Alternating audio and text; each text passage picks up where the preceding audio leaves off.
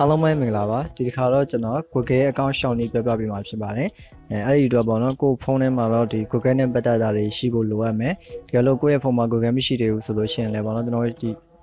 ဖုန်းထဲမှာ Google ထည့်နေကိုကျွန်တော်ဗီဒီယိုနဲ့လုပ်ပြထားရှိပါတယ်တစ်ချက်ဝင်ကြည့်လို့ရပါတယ်ဟိုရလို့ပထမဆုံးကျွန်တော် setting နဲ့ဟိုတွားမယ်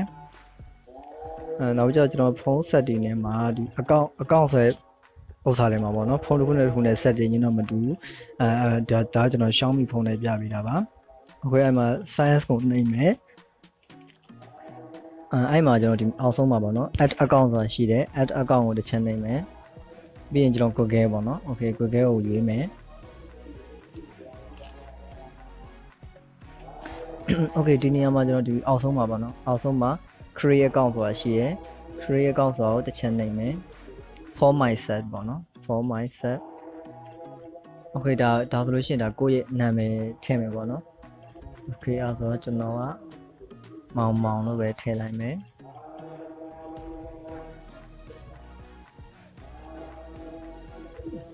ဟုတ်ကျွန်တော်မောင်မောင်လို့ပဲထည့်လိုက်မယ်ခွေးဒါမွေးလာပေါ့နော်ဒါကိုယ့်ရဲ့မွေးနေ့မွေးလာရွေးလိုက်ပါအဲကျွန်တော်ကတော့ဒီတိုင်းပဲထည့်လိုက်တော့မယ် ခွေးဒါ gender female male ပေါ့နော်ကိုယ့်ယောက်ျားလေးဆို male ပေါ့မိန်းကလေးဆို female ထည့်ပေးရမယ် okay နေရွေးမယ် next တစ်ချက်နေမယ်ဒီနေရာမှာကိုယ့်ရဲ့ gmail ကိုပေါ့နော်ဘယ်လိုပုံစံမျိုးထားကြလဲဆိုတာကိုရေးပေးပါ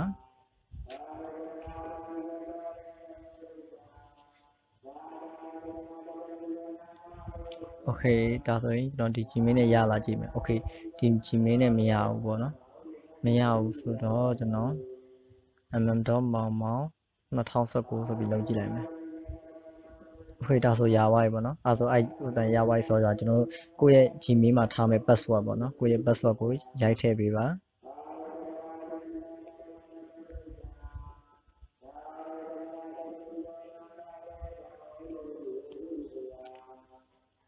โอเคအဲ့တော့ next သွားမယ်ဟောတော့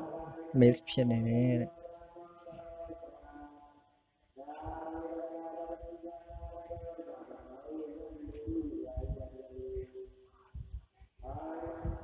သူကဒီအခရာရောခဏန်းရောပေါ့နော်နှစ်ခုရိုက်ထည့်ပေးလိုက်ပါ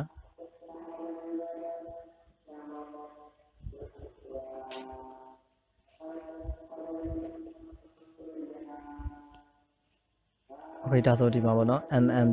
မောင်မောင်2019ဆိုပြီးတော့ဒါတစ်ခုရရသွားပြီပေါ့နော်โอเคအဲ့တော့ကျွန်တော် next ပေးမယ်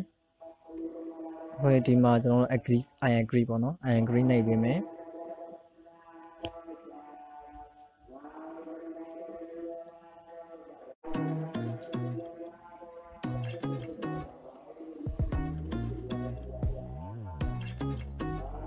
okay add account